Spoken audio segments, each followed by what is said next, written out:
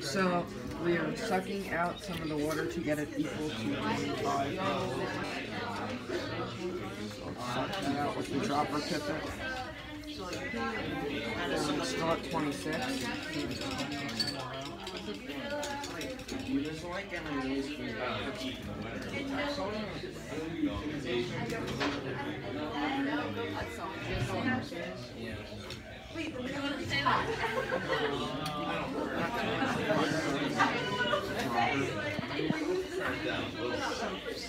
Now, if you look down, it is at 25 now.